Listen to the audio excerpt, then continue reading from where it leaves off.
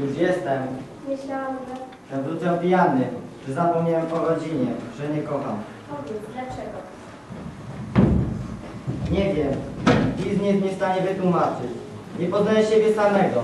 To była moja zła godzina. Godzina zapomnienia. Godzina zobojętnienia. Czy słowo przepraszam wystarczy? Nie. Czy słowo żałuję coś zmieni? Nie. Komuś możemy, to nasza odpowiedzialność. Korzystać z pomocy wszystkich to nasza nadzieja. Drodzy uczniowie, rodzice, szanowni goście. Zebraliśmy się tutaj, ponieważ łączy nas wszystkich troska o naszą młodzież. Szkoła obok celów edukacyjnych realizuje także założenia wychowawcze.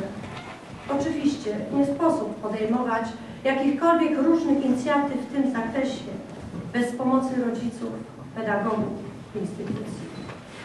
Drodzy rodzice, troszczycie się o Wasze dzieci, o ich zdrowie i przyszłość, ponieważ obawiacie się, by nie wpadły w szpony jakiegokolwiek uzależnienia. W dzisiejszych czasach jest to niestety bardzo prawdopodobne.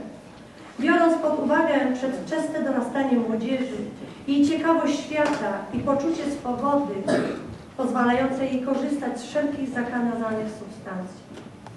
W ostatnich latach obserwuje się coraz większe zainteresowanie młodzieży narkotykami i alkoholem, a spożycie tych używek wciąż rośnie.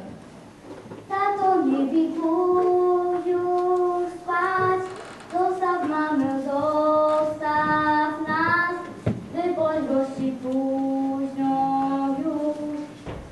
Szanowna Pani Dyrektor, y, czcigodny księże proboszczu, Panie Wójcie, y, całe grono pedagogiczne, rodzice i drodzy uczniowie.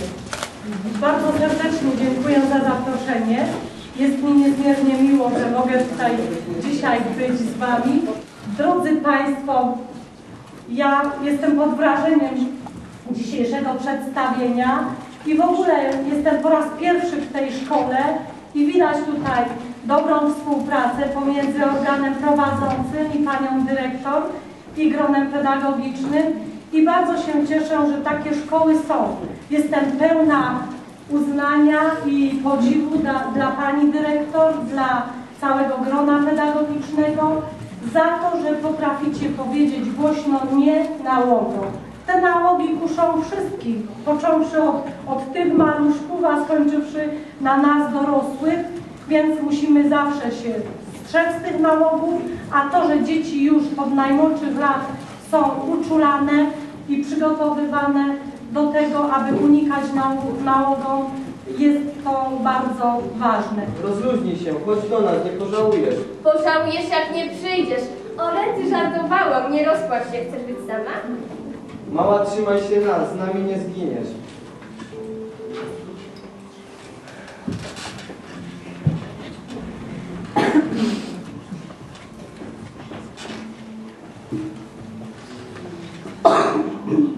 Dziewczyna czuje, jakby przykleiła się do krzesła.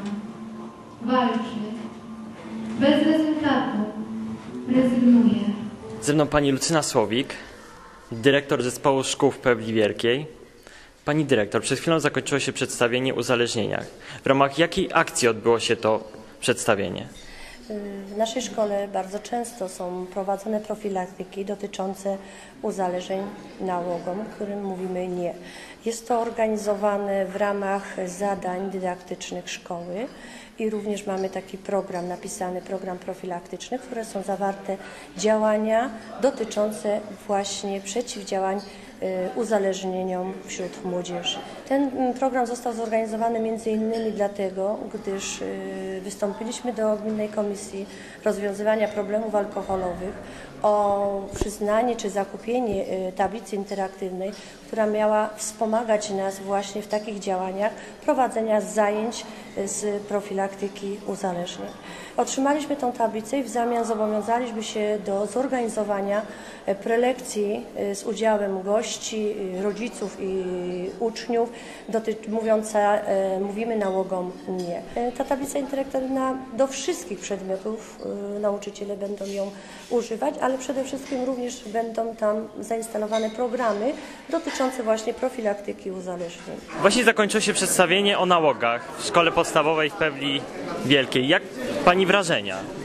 Jestem pełna podziwu i uznania dla dyrekcji, grona pedagogicznego, a nade wszystko uczniów tej szkoły, że potrafią y, głośno powiedzieć nie nałogą i że tak pięknie, y, w taki pouczający sposób potrafili przekazać y, i, i zorganizować takie przedstawienie